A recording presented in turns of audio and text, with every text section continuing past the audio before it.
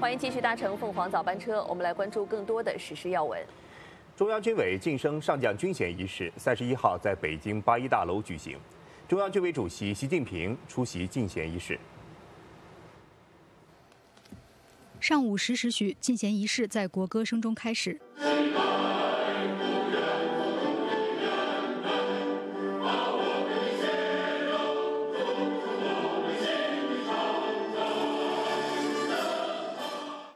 中央军委副主席张幼侠宣读了中央军委主席习近平签署的晋升上将军衔命令，中央军委副主席何卫东主持晋衔仪式。这次晋升上将军衔的军官是火箭军司令员王厚斌。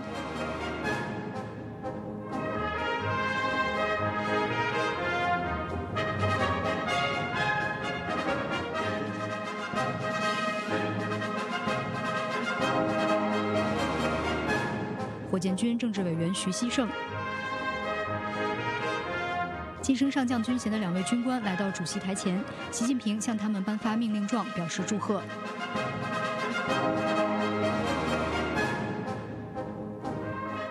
佩戴了上将军衔肩章的两位军官向习近平敬礼，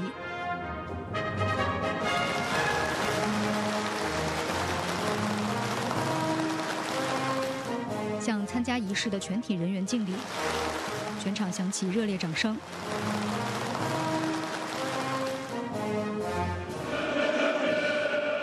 晋衔仪式在军歌声中结束。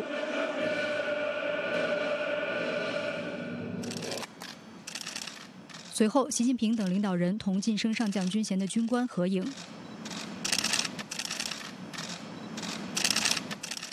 凤凰卫视综合报道。中共中央总书记、国家主席、中央军委主席习近平近日给模范空降兵连全体官兵回信，对他们予以亲切勉励，并致以八一建军节的祝贺。习近平在回信中表示，官兵们以黄继光老班长为榜样，传承英雄精神，争做英雄传人，实现全面进步。连队常年保持先进，自己为他们取得的成绩感到高兴。习近平表示，希望官兵们牢记使命、珍惜荣誉、弘扬光荣传统、砥砺血性胆魄、苦练过硬本领，努力锻造敢打必胜的空降利刃，为党和人民再立新功。凤凰卫视综合报道。中国国家主席习近平七月三十一号致信祝贺中巴经济走廊启动十周年庆祝活动在巴基斯坦伊斯兰堡举行。习近平指出，中巴经济走廊是一带一路重要先行先试项目。自2013年启动以来，两国秉持共商共建共享原则推进走廊建设，形成了一批早期收获，为巴基斯坦经济社会发展增添新的动力，也为地区互联互通和一体化进程奠定良好基础。中巴经济走廊已经成为中巴全天候友谊的生动诠释，为两国构建新时代更加紧密的中巴命运共同体提供了重要支撑。习近平强调，展望未来，中方愿同巴方一道，坚持高标准、可持续、惠民生目标。不断完善布局，拓展深化合作，将走廊进一步打造成为高质量共建“一带一路”的示范性工程。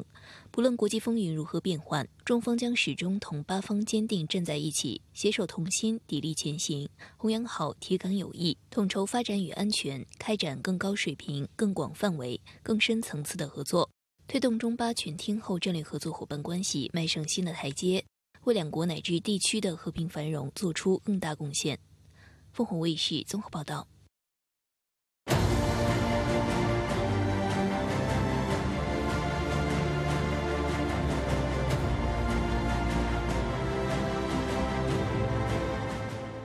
俄乌战事持续，俄方在周一称，乌军炮击顿涅茨克市和扎波罗热州的一座村庄，总共造成六人死亡，二十六人受伤。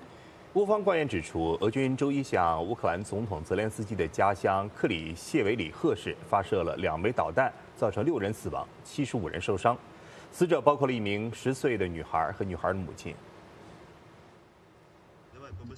乌军日前在乌克兰东南部发动反攻，从俄军手中夺回斯塔罗马约尔斯克村。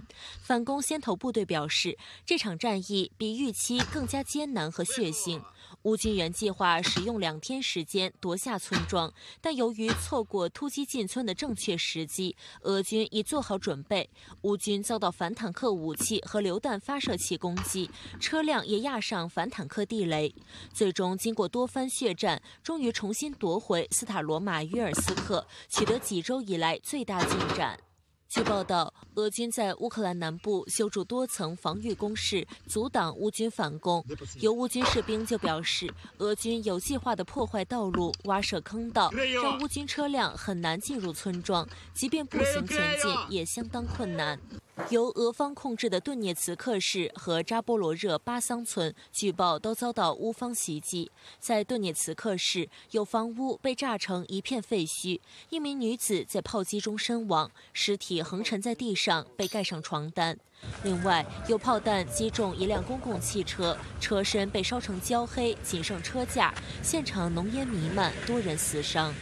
而乌克兰中部城市、乌总统泽连斯基的家乡克里维里赫就遭到俄军导弹袭击，两枚导弹分别击中一栋住宅楼和一所大学建筑。九层高的住宅楼一侧被炸出大洞，冒出滚滚浓烟。当局称，废墟下仍有被困民众，超过三百五十人参与救援。泽连斯基当天发文谴责俄罗斯频繁将民用设施和住宅作为目标，强调这种恐怖行径不会吓到或击垮乌克兰人民。泽连斯基前一天刚表态指，战争正逐渐回到俄罗斯土地上。另外，俄罗斯退出黑海粮食外运协议后，乌克兰粮食出口问题成为乌方重要议题。乌克兰外交部长库列巴在与到访的克罗地亚外长拉德曼举行会谈后表示，双方同意探讨使用克罗地亚在多瑙河和亚得里亚海的港口出口乌克兰粮食，并将努力建立通往这些港口的最有效路线。凤凰卫视综合报道。俄乌双方持续发动攻势，殃及了许多无辜的民众死伤。相关话题，我们继续请到时事评论员郑浩来做分析点评。郑先生，您好，两位早。俄罗斯指控乌克兰用无人机袭击莫斯科，另外一边，泽连斯基的家乡又被俄军导弹袭击。所以从当下战事进展来看，您认为俄乌冲突的局势是否已经进入到一个新的阶段呢？呃，实际上呢，从六月初啊，乌克兰声称举行大反攻之后，我们看到呢，俄乌战争呢就已经进入到了一个新的阶段。那么这个阶段呢，一方面呢，从正面战场上看，乌军的挺进速度非常的缓慢啊，遇到了俄军的顽强的抵抗。呃，另一方面呢，啊，就是相互，就是俄俄罗斯和乌克兰相互都对对方的民用设施啊进行了无人机的攻击。啊，俄罗斯呢，当然利用远程的导弹，呃，对乌克兰呢进行啊打击。呃，重点呢仍然是民用的设施。那么从这一轮的呃俄乌的冲突来看呢，它有一个明显的特点啊，就是呢一方面在战场上，那么双方的交战非常的惨烈，而另一方面呢，呃双方都加紧了对对方的民用设施的攻击啊，而且呢，我注意到特别是乌克兰方面啊，动用了大量的直升机，开始呢对俄罗斯的本土，包括莫斯科。啊，进行这个无人机的攻击，虽然成功的次数并不多，但是呢，仍然对俄罗斯的国土安全构成了一定的威胁。所以呢，从这一轮的啊俄乌战争的明显的一个特点可以看出呢，就是双方都在加紧啊对对方，无论是军队还是后后方啊，进行了这种有效的打击。那么，当然了，我们也看到呢，实际上呢，这场战争持续到五百二十四天，仍然呢是难分。啊，胜负啊，应该说呢，从未来一段时间来看，恐怕呢还会持续下去，就是这场冲突还会持续下去，根本就看不出来哪一方啊占有绝对的优势。呃，我也注意到呢，在呃前天，俄罗斯联邦安全会议的副主席梅德韦杰夫再次提到核战争的这样的一种说法啊，他说呢，如果说呃乌克兰的所谓的反攻能够取得胜利的话。能够成功的话，那么不排除呢，俄罗斯会改变核理论啊，或者是动用核武器的一些政策啊，对乌克兰的发动核战争。呃，梅德韦杰夫呢，已经是多次的提到啊核战争，而且呢，他啊经常的啊用这个核武器的啊或者叫核威慑啊来这个描绘这场战争的一个终结情况。那么这样的话呢，让国际社会呢非常担心，俄罗斯呢是否对这场正在进行的冲突并没有绝对的。啊，胜利的把握啊，也就是说从信心方面开始有一些顾虑啊，因为呢，乌克兰方面是得到了西方的大力的军事援助，而且呢，在无人机的攻击方面呢，已经。呃，摸索出了啊一定的经验啊，开始呢有了自己的啊无人机的啊这种作战的部署，特别是对大桥、公路、呃国防设施，包括政府部门啊进行无人机的这种攻击。因此呢，莫斯科是否担心在下一轮的啊升级当中的这种冲突，可能呢乌克兰会在某些方面啊有一定的或者叫占据上风啊，所以呢莫斯科呢可能会担心啊未来的这种战争的走势。会越来越不利于俄罗斯。当然，从目前的情况来看，还不至于啊。但是呢，梅德韦韦杰夫再次的啊，释放出这种所谓的核战的这样的理论啊，让人多少感觉到莫斯科可能呢对特别军事行动并没有完全的十足的一个取胜的把握。当然了，呃，面对的这种俄罗斯的核威慑的啊，或者叫核威胁的这种言论，乌克兰方面是否会退缩，我们也看不出来啊。双方有在近期进行这个和平谈判的这种、这种、这种、这种迹象，应该说呢，还是啊，就是乌克兰方面还是要把战争进行到底啊。那么从当前的啊整个的这种态势来看，并没有屈服于核威慑啊，或者叫核打击的这样的一种言论。我注意到，就是虽然呢，现在是中国的外交部啊例行的记者会啊休会的期间。但是呢，外交部呢仍然对书面的有关的问题进行解答。那么，对于俄罗斯最新抛出核战的这个理论，中国外交部是否会有正面的一个回应？这个呢，是在今天或者是明天我们所期待的。如果说啊，中国外交部避开了这样的一种呃回应的话，那么让国际社会更加的猜疑。那么，中国在俄乌冲突这方面啊，特别是啊有关国家。不断的释出核威胁、核战争的这种言论，这个立场方面啊，是否会有一些改变？所以呢，我们期待啊，中国的外交部会啊，在今天或者明天啊，对有关的问题进行书面的一个声明，来表明中国在核战这个问题上的严肃的立场。两位，是，谢谢郑浩先生的分析解读。俄罗斯国防部长绍伊古三十一号召开全军电话工作会议。绍伊古表示，仅在七月份，乌军就损失了两万零八百二十四人，各种武器装备两千两百二十七件，其中包括损失十辆豹式坦克、四十套美国 M777 火炮系统等。星期一，俄罗斯国防部部长绍伊古在俄军高级军官的电话会议上表示。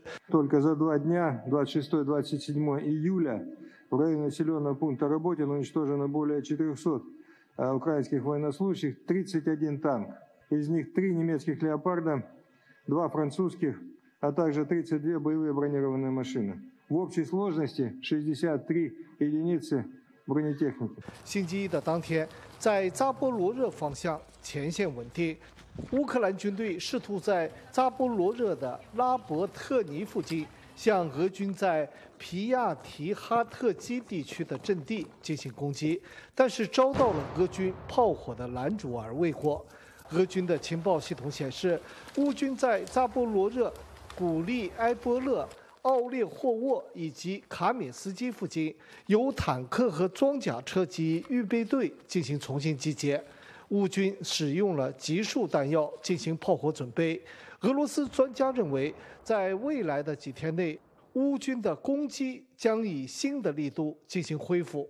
在顿涅茨克方向的中部，沃尔诺瓦哈以西52.5公里的斯塔洛马尤尔斯科耶定居点，乌军集中了优势的兵力，企图突破俄军第一道的防线，但是目前。这个定居点实际上是处于灰色地带，乌克兰武装部队在这个区域无法立足。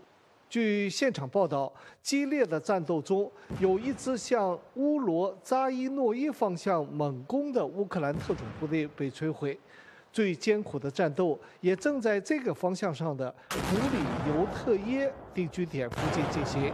乌军正在进入到俄军的防御阵地。乌军正在大诺沃塞尔卡、杰米罗夫卡以及诺沃波尔定居点区域形成了突击群的防线。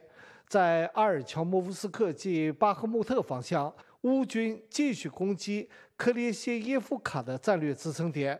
也有报道称，乌克兰武装部队已经再次进入到这个村的南郊。在安德烈耶夫卡附近的俄军的侧翼也遭到了同样的威胁。星期一的清晨，乌克兰武装部队试图向扎波罗热方向的别尔霍夫卡附近挺进，阵地战正在进行之中。在顿巴斯北线的红色利曼斯基和斯瓦托夫斯基方向，乌军试图在别尔格罗夫卡附近发动反攻未果。在新格罗夫卡附近，俄军正在热列贝茨河左岸扩大自己的据点。在哈尔科夫的库皮扬斯克方向，俄军在库泽莫夫卡附近向前推进，并占据了反攻更加有利的出发地点。据悉，以久姆一带的乌克兰地方行政机构已经撤离。凤凰卫视卢宇光，莫斯科报道。已经持续五百多天的俄乌战争，令到美西方与俄罗斯的对抗白热化，烽火甚至延烧到了三千多公里以外的北极。在挪威位于北极圈内的领土斯瓦尔巴群岛上，受到历史等诸多原因的影响，这里居住并且生活着大量的俄罗斯人，而他们的境遇也因为战争的爆发而改变。凤凰卫视发起北极行动，派出了采访组亲赴斯瓦尔巴群岛，直击地缘政治博弈下的北极。来看记者发回的报道。位于北纬七十四度和八十一度之间的斯瓦尔巴群岛是一个独特的存在。它虽是挪威的领土，却不属于深根区。自苏联时代起，便有大量从事采矿业的俄罗斯人在这里定居。乌克兰战争爆发后，随着美西方制裁的层层加码，俄罗斯在这里变成了一个颇为敏感的话题。在记者一行乘搭的环斯瓦尔巴游轮上，上至船长，下至导游，当被问及与俄罗斯相关的话题，时，大都是三缄其口、讳莫如深。艾莲娜来自圣彼得堡，近几年一直在斯瓦尔巴工作。俄乌战争爆发后，她与其他俄罗斯同事的生活都受到了不小的冲击。For example, they couldn't get visa after this situation, and also it's not easy now to fly to uh, Europe. You need to fly, for example, to Turkey or Dubai, but also I just fly there, and just it takes longer time.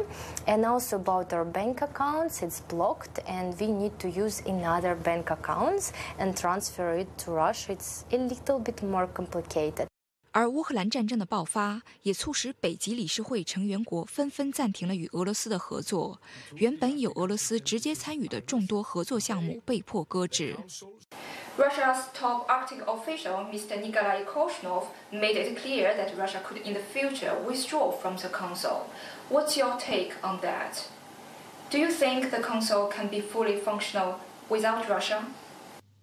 Um, it would not be the same. Um, it would be uh, uh, less, uh, you know, the work would be not as inclusive uh, if Russia withdraw. Um, we, we, we do uh, hope that there is possible to have a future within the Council with all states, including Russia.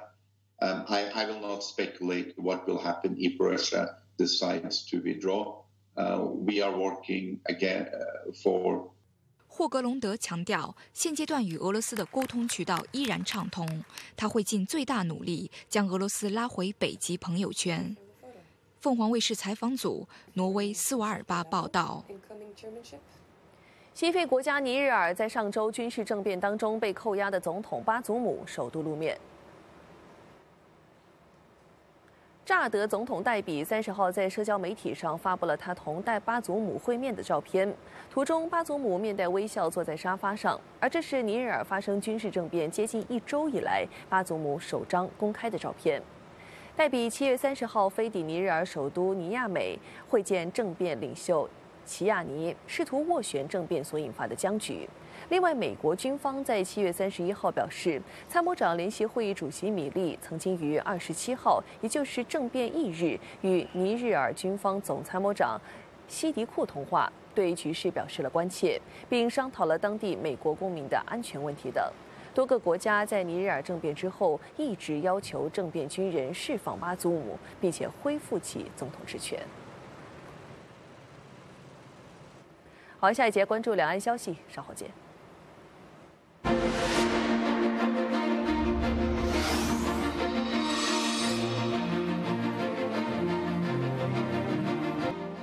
欢迎回来。受到台风杜苏芮的影响，北京河北多地连日遭遇强降雨侵袭。在北京，有房屋和大量的汽车被冲走，至少有两人死亡。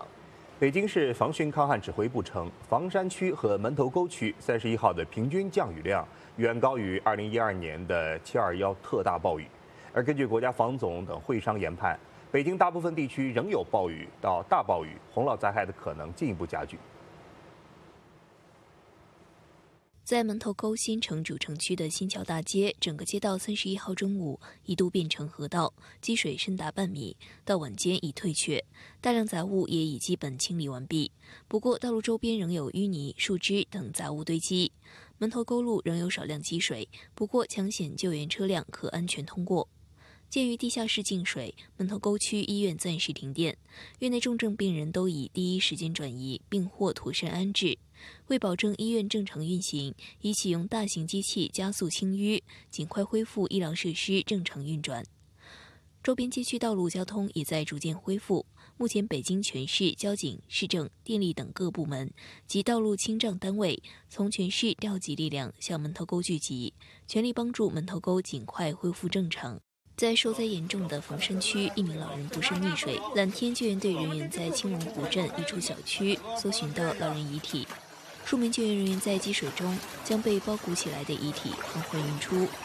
房山区窦店镇积水严重，在雨庄有停车场被水淹没，车辆漂浮；而在临近的苏村，积水深达一点四米，没过胸口，有人员受困。属地应急队伍和武警北京总队官兵乘橡皮艇赴当地营救村民。有人吗？有没有人？军人用橡皮艇将受困屋顶、车顶的村民救出，后续进行送医、安置等工作。房山区政府三十一号下午发消息指，区内河道均已出现超标准洪水，同时城市积水内涝较为严重，多处路段无法通行，呼吁全区市民减少外出。强降雨还导致永定河水位激涨。泄洪造成丰台小清河桥西向东第四跨位置发生垮塌，停在桥上的五辆汽车落水。经初步判断，不涉及人员落水情况。相关部门正查找车主，进一步核实相关情况。凤凰卫视综合报道。根据北京市防汛办最新消息，截至三十一号晚上八点，这一轮降雨以来，全市转移民众五万两千三百八十四人。当前房山区大石河流域、拒马河流域已经出现了超标准洪水，沿线多处出现了险情，呼吁沿线市民按照统一部署及时转移避险。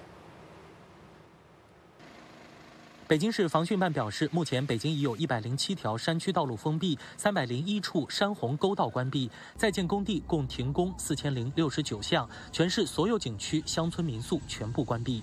在受降雨影响最严重的门头沟区，降雨频度高、强度大。在新首钢桥下，永定河水十分湍急，部分树木被洪水带倒。在下游的桥墩不远处，沿河而下的树枝和树根汇成一团。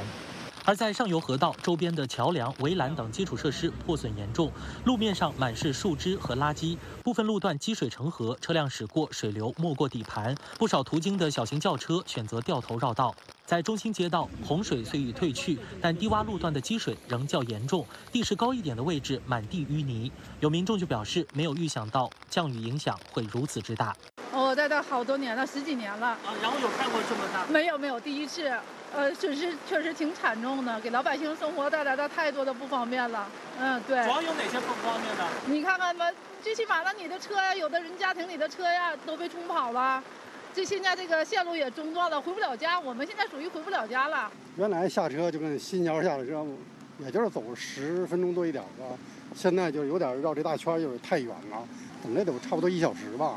由于降雨导致自来水公司相关泵房被淹，门头沟部分小区出现了停水。现在不是停水了吗？我从中午到现在还没吃饭呢。是吗？啊，我让我托人说给我买点水，到现在还没给我送来呢。那提前没有说，就？没人通知，因为它是突然的，不是下雨吗？我能理解，知道，肯定这现在抢修呢。自降雨以来，北京全市共接报一百零八处积水信息，四十六处已处置完毕；塌方、山体滑坡等十四处地质灾害中有两处已处置完毕。截至三十一号晚八点，北京共转移民众五万两千三百八十四人。凤凰卫视宋伟坚、许逸轩，北京报道。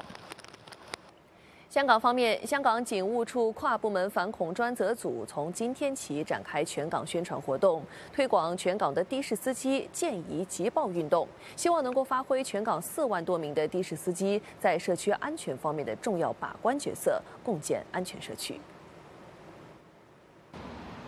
为确保香港有充分而且不断强化的反恐能力，执法部门需要加强情报搜集外，大众市民在反恐上的角色也不容忽视。香港警务处跨部门反恐专责组八月一日起展开全港宣传活动，推广全港的士司机见疑即报运动，共建安全社区。据特区政府统计，全港共有超过一万八千辆的士，以及大约四万六千名活跃的的士司机。警方表示，这些司机每日在全港不同地区行驶，接触到各式各样的人和事，甚至有机会接触到与涉恐、涉暴或者其他罪案相关的消息，在社区安全方面担当重要的把关角色。近期警方就遇到過多起熱心司機成功協助警方拘捕不法分子的個案。六月嘅時候就先後有兩個嘅的士司機分別喺屯門同埋上水，見到有人喺街上持有武器，於是報警。咁啊，最後係成功制止咗有兩宗嘅黑幫打鬥，同埋一共拘捕咗七個嘅疑犯。今個月七月呢，亦都有另外一個的士司機喺大圍接載一名可疑嘅乘客之後咧，佢迅速報警。令到我哋警方及時係拘捕一個涉嫌贩賣危險藥物嘅男子嘅。此外，專責組在今年三月發放首宗反恐賞金的舉报人，也同樣是一名職業司機。他在載客期間留意到有乘客商討策劃暴力襲擊，其舉报後，兩名涉案人士以炸彈嚇炸行為的罪名被定罪。專責組表示會以司機群體為推廣目標，向他們推廣反恐防炸資訊。包括如何辨识可疑人物或者事情，以及鼓励业内人士适时举报涉恐涉暴和其他罪案的消息，期望与全港的士司机及业界携手合作，并肩反恐。而专责组去年六月推出反恐举报热线以及反恐赏金之后，截至今年七月中旬，热线共接获超过两万条讯息，涉及超过五千宗举报人次。凤凰卫视赵龙香港报道。开学季临近，对于来港求学的学生而言，租房是最关心的问题。最近有内地生为了租房通宵排队，引发了广泛争论。今年内地生租楼潮为什么如此热烈？是饥饿营销，还是需求旺盛？本台记者走访了热门租盘，一探究竟。来看报道。又逢开学季，来港求学的内地生租楼潮正在掀起。近日，不少内地生为了入住位于红磡的酒店式公寓，通宵排队抢房。今年的抢租潮真的这么夸张吗？记者来到其中一间引发讨论的酒店式公寓，了解租屋情况。即系而家排队嘅人多唔多？如果我哋想住嘅话，即系最最短嘅预几耐嗰度排队啊？诶，你可能有啲人系日日都嚟排，日日都过嚟排，系啊，即系排到有位置噶。咁咁咁大竞争？系啊，因为暑假啊嘛，好多学生都嚟睇呢度咯。哦，即系其实学生。比較中意住呢啲地方嘅。誒係啦，因為方便啊嘛，你誒拖個行李過嚟就得嘅。如果我哋而家想租，要等幾耐？三個月。誒，如果而家想租嘅話，可能最快都要九月中。租樓要排隊等位，甚至連起租日期都已經排在了一個月之後。究竟是饑餓營銷，還是市場需求旺盛？為何今年內地生租樓潮如此熱烈？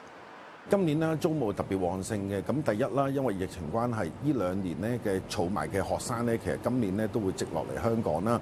咁第二啦，我哋見到咧就係高才通啦。咁依批誒批咗落嚟嘅香港嘅客户咧，其實都呢兩個月開始出嚟揾緊租盤啦。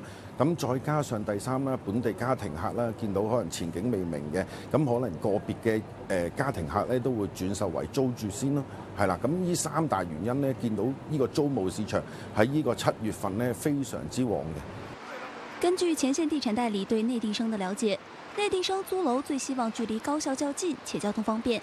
楼盘相对有限的情况下，抢租势头强劲，租金升势相对明显。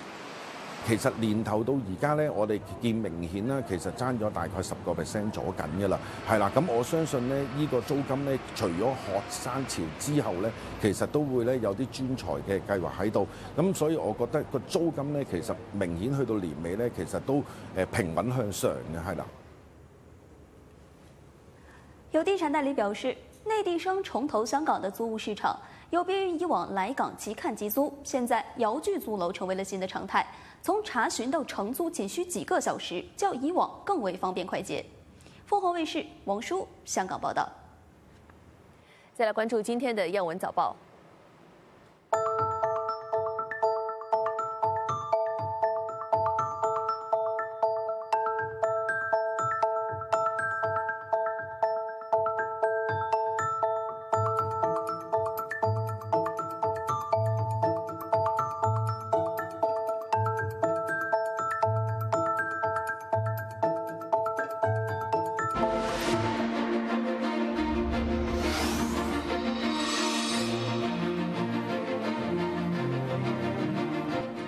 叙利亚外长梅克达德三十一号访问伊朗，和伊朗外长阿卜多拉·西扬举行会谈。梅克达德来到外交部，受到阿卜多拉·西扬的热情迎接。双方举行了一个多小时的会谈，就共同关心的地区和国际问题交换看法。随后，两人举行联合新闻发布会。阿卜多拉·西扬强烈谴责以色列对叙利亚的袭击，称以色列是地区不稳定的根源。他认为。只有外部势力停止干涉，西方取消对叙利亚的单边制裁，让流离失所的叙利亚人返回家园，叙利亚才能实现和平。阿卜杜拉希扬还表示，将继续推动俄罗斯、叙利亚、土耳其和伊朗之间的阿斯塔纳会谈进程，以结束叙利亚冲突。他要求美军立即撤离叙利亚。معتقد هستیم نیروهای اشغالگر آمریکایی جز تشدید ناامنی در سوریه جز حمایت از تروریست ها در ادلب دستاورد دیگری رو برای منطقه نداشتهاند و خروج فوری نیروهای نظامی و اشغالگر آمریکا از خاک سوریه رو کمکی بزرگ به ثبات و امنیت این منطقه میدانیم 梅克达德也感谢伊朗的支持， 他谴责以色列和美军的暴行，敦促美军和土耳其军队尽快撤出叙利亚领土。 الوجود الامريكي في الشمال الشرقي غير مشروع. غير مشروع لان سوريا لم تطلب ذلك وتطالب برحيل هذا الوجود. تطالب سوريا برحيل التحالف الدولي المزور والباهت الذي لا يخدم الا غايات اسرائيل وغايات الولايات المتحده الامريكيه. 梅克达德此行率领一个高级政治和经济代表团访问伊朗，目的是推动莱西总统五月访问叙利亚时两国签订的长期合作协议，并参加联合经济委员会会议，切实推动两国经贸、基建和技术等领域的合作。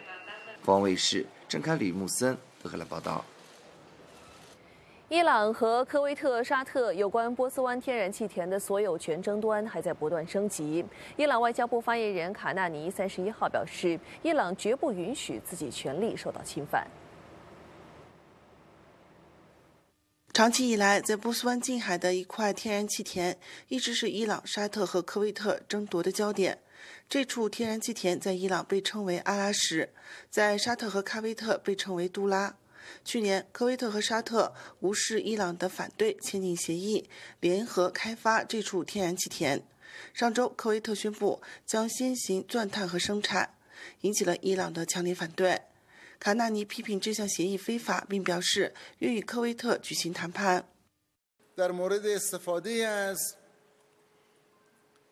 میدان نفتی آرش هم ما همونطوری که رسما اعلام کردیم خواهان استفاده مشترک در بهره برداری از این میدان هستیم و در این زمینه آمادگی خود رو برای گفتگو هم با طرف کویتی اعلام کردیم اما اگر احیانا تمایلی برای استفاده مشترک از این میدان نفتی وجود نداشته باشه طبیعی است که جمهوری اسلام ایران حقوق و منافع خودش رو و بهره برداری و اکتشاف و بهره برداری از این منابع رو در برنامه خودش قرار داده و طبیعتا هیچ گونه تضییع حقوق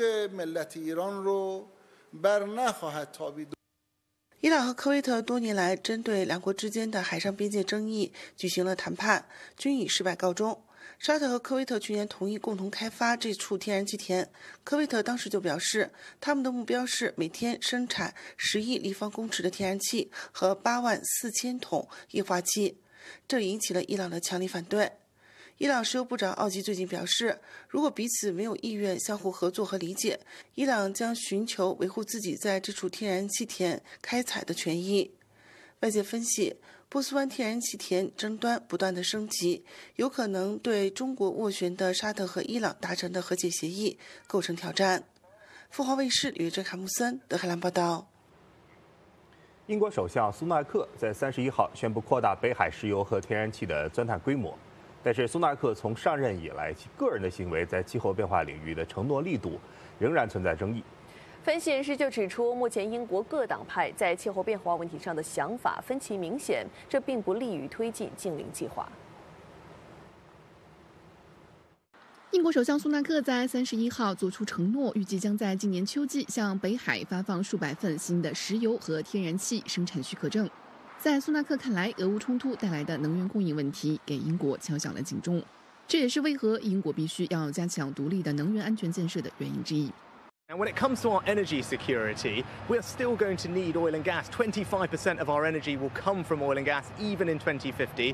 Far better that we get that from here at home. Better for the economy, better for our energy security, better for jobs, and better for climate emissions rather than shipping it here from halfway around the country. So that's why we've got more North Sea oil and gas licenses being announced. 有官员预测，北海油气田项目在2030年可创造五万个就业岗位。 外界认为，这是保守党计划与反对党工党划清环保政策界限的举措之一。自七月中下旬的三个国会议席补选之后，工党的超低排放区计划并没有给党内带来额外加分，反而加大了英国政坛关于绿色清洁政策的讨论分歧也愈加明显。工党早前提议允许在现有的北海项目上继续开采石油和天然气，但不会批准新的钻探地点。保守党则希望采取一种适度且务实的办法来平衡民意支持和气候承诺。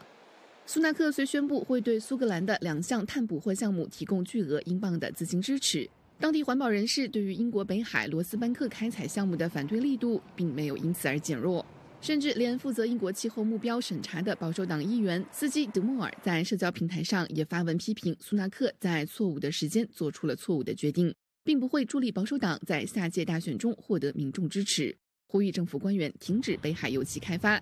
否则可能会破坏英国在气候危机上的信誉。在同一天，苏纳克出访苏格兰，搭乘公务专机，无视环保承诺，被指虚伪。苏纳克本人以能够有效利用时间为由予以回击。而他所带领的保守党近日呼吁当局能够放宽在二零三零年禁止新的汽油和柴油汽车销售的最后期限，也遭到在野党派的攻击。根据《泰晤士报》的民意调查显示，生活成本和公立医疗仍是选民最关心的问题。七成保守党选民反对二零三零年禁止销售汽油和柴油车。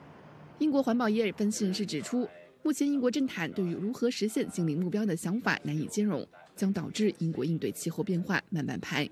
凤凰卫视徐亮、吴若明伦敦报道：超过两万英国铁路系统的从业者依然在参与长达十天的新一轮罢工，表达对薪资待遇的不满。伦敦的休斯顿、圣潘克拉斯以及英王十字车站是当地通往英国各地以及欧洲大陆的主要交通枢纽，每年承载旅客超过一亿人次，每天往返英国和欧洲大陆国家的人次超过三十万。在最近，英国当地交通工会宣布了新一轮为期十天的罢工。不过，英国国会在七月二十号通过反罢工法，要求包括交通行业的多个基层行业在罢工期间提供最低限度服务。否则会遭到法律起诉和员工被解雇。但由于当地学校进入暑假期，罢工也不再只限于周末。七月三十一号，虽然标志着这一轮为期十天的罢工进入尾声，但适逢周一工作日，还是给当地很多上班族带来了出行上的极大不便，大量旅客在车站滞留。劳资双方的纠纷仍然以薪资待遇为主。英国保守党政府在七月中旬宣布为公营机构员工平均加薪百分之六的时候，就表示这已经是政府的态度底线。但英国媒体三十一号公布的最新民调显示，还是有百分之五十二的英国人对食品、汽油和水电费等能源账单的日常必须开支的增加感到忧虑。六成受访者表示，现在只能是勉强应付各项开支。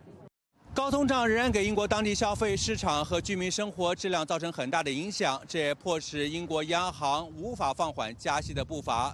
在这个星期，英格兰银行会召开新一轮的议息会议，外界预计在会后，英国央行会宣布新一轮的加息决定，而这直接导致英国至少四百万个家庭要面对房贷成本追加的问题。凤凰卫视曹杰、肖一格、李默克、伦的报道。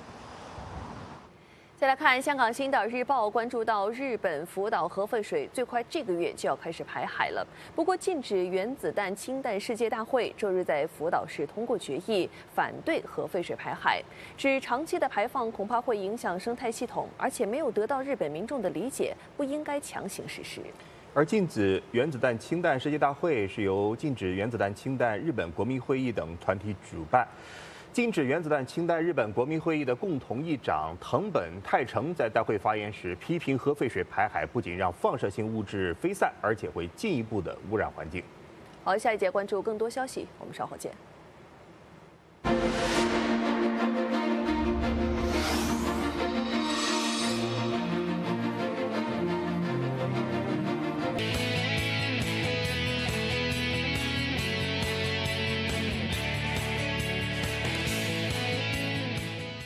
成都大运会三十一号进行了第三天的比赛，总共产生二十三面金牌。我们来看一下奖牌榜的最新形势。东道主中国队在第三天的赛事当中再添四枚金牌，暂时以总数十七枚金牌、六枚银牌和七枚铜牌居于奖牌榜首位。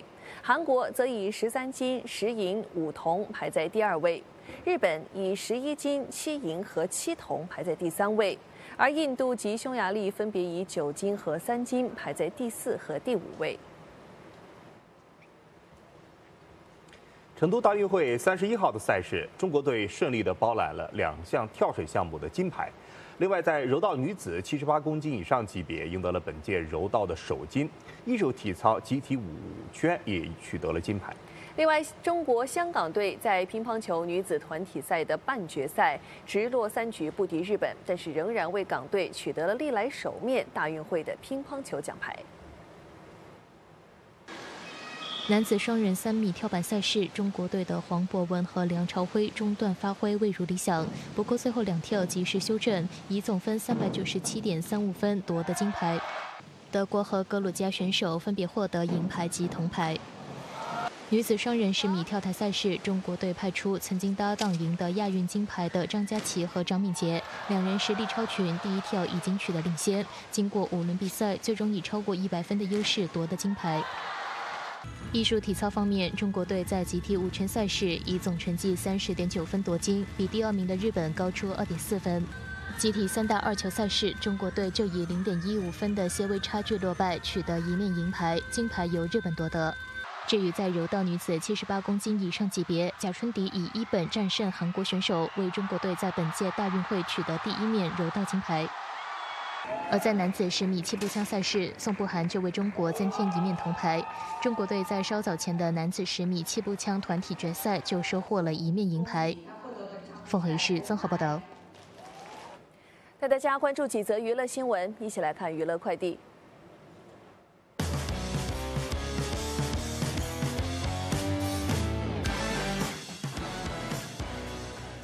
香港殿堂级乐队温拿乐队将于八月六号开始在香港体育馆举行七场演唱会。温拿乐队五位成员近日忙于彩排，这次是他们的告别巡回演唱会。身在外地的海外歌迷得悉后，对于未能亲身到香港观看都感到可惜。对此，主办单位特别开设网上直播通行证，让海外歌迷在八月十三号同步实时欣赏演唱会，全球五十个地区直播。包括洛杉矶、旧金山、西雅图、凤凰城、吉隆坡等地，一同见证温拿乐队演唱会香港站最后一场的时刻。台湾创作歌手卢广仲日前到香港出席 The Next Wave 沙滩音乐节，让一众到场观看的歌迷疯狂尖叫。卢广仲更与全场的歌迷大合唱，并与他们互动。大家好，我是卢广仲啊！像我最近呢，我上一个礼拜每一天都走。每天要走两万步，分下一代家。耶，然后呃，我明年还会再回来香港，好不好？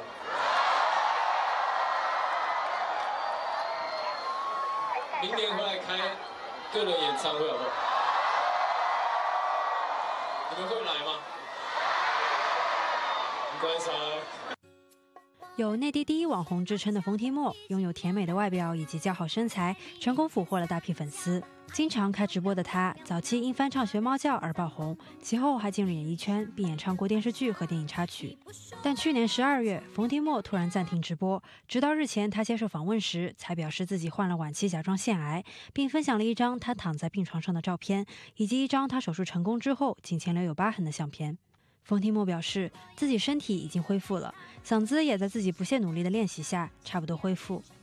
凤凰卫视综合报道，被称为华人之光的著名歌手李玟，本月五号在香港离世，三十一号在香港殡仪馆设灵，大批歌迷到场悼念，送李玟最后一程。著名华裔歌手李玟七月五号在香港离世，享年四十八岁。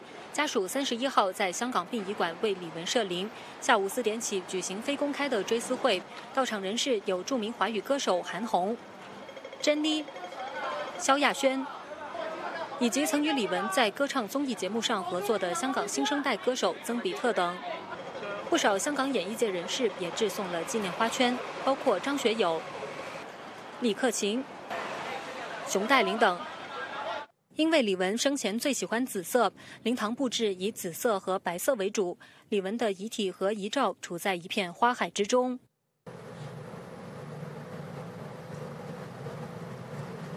我妹妹去到的地方都是充满笑跟爱心。